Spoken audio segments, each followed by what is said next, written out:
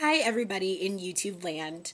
Um, this is a different video than what I'm probably going to be normally doing, um, but I feel like I need to share this with you guys. So this is going to be a video about my pet peeves.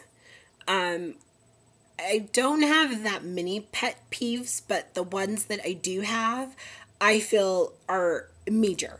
So the first pet peeve that I have is women who wear eyeliner on the bottom part of their eyes. Not the top, but just the bottom.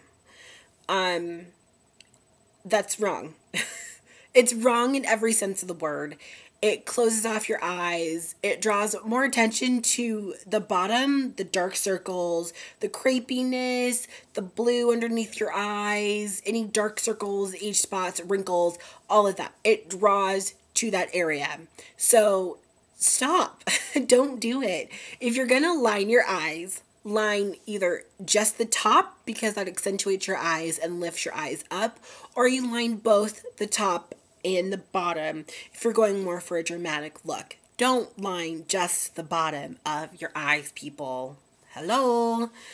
Um so that's the one thing I've seen and I've seen it in where where I live and it it bothers me. I really want to take a Q-tip and makeup remover and just go and remove the eyeliner and start over because it's it's wrong. I don't know when it ever was a trend to have eyeliner just on the bottom. I don't know who created this eyeliner just on the bottom.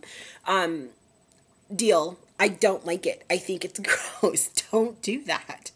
Um my second pet peeve, most of you guys probably have this pet peeve um, is mascara clumping. A lot of women don't know when to get rid of their mascara. And I'm going to tell you now, I'm going to set the record straight. Two to three months, not one, but two to three months tops is when you need to be replacing your mascara. Um, yeah, that, I mean, that's basically y'all. Just replace your mascara then. Um, if you think you still have a little bit under, like in the bottom part of your tube, maybe wait a week or two, but that's it. Don't go for six months and, you know, still using the same mascara thinking that it's still working. It's not. It's not working. And then the second part to that pet peeve, because there's two parts to that one, um, is women who layer and layer and layer the heck out of their mascara. Why are you doing that? Don't do that. If you feel like you need to layer and layer and layer your mascara, wear false eyelashes. It's going to give you the same dramatic effect without wasting so much product. You're wasting product to make your eyelashes stiff. If your eyelashes are stiff and you can't move them, if you can go and get your makeup done and the, the lady's having a hard time removing your your makeup because your eyelashes are like stiff as a board and you can't get anything in between them to clean them, you have an issue.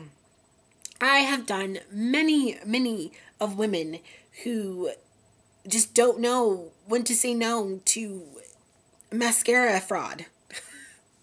and I say mascara fraud because mascara is supposed to give you definition. It's not supposed to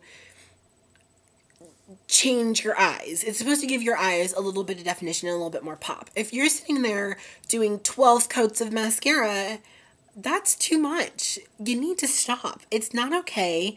No one said put 12 coats of mascara. There's a couple of mascara companies that say you can layer up to 25 coats, but that doesn't mean that they're telling you to layer 25 coats on your mascara. One to two, maybe three tops. And if it's a runny formula, four. I give you four. If you do any more than that, then you have a problem and you need to come see me and we need to figure out why you feel like you need to layer so much. Like I said, if you're to layer that much, wear false eyelashes. They're really easy to put on. Wear them. So, those are my pet peeves. My question to you guys out in YouTube land what are your pet peeves in makeup? I know what everybody's pet peeves are in life, but what are your pet peeves in makeup? Is it wrong color foundation? Is it too much blush?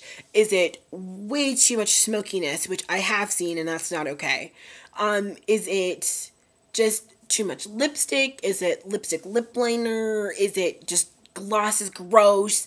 I mean, what is it that really bugs you um, out there in YouTube land? Let me know.